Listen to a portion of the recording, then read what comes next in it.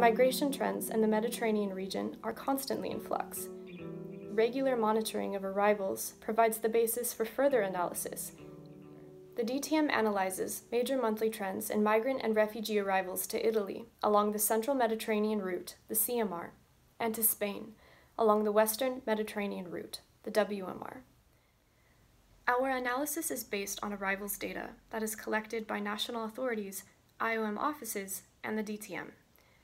These data do not represent total mobility trends toward Europe, and observations based on these data should be considered indicative of possible migration trends.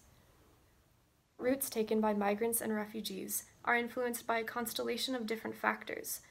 These might include, but are not limited, to adjustments to conditions while on the move, as well as policy changes that might impact mobility.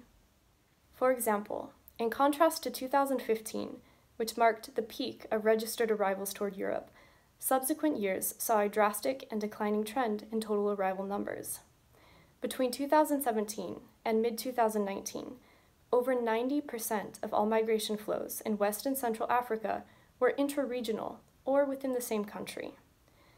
The DTM recommends that humanitarian agencies, national authorities, and national organizations use the existing data and analysis on mobility trends to better inform their decisions, policies, and programming.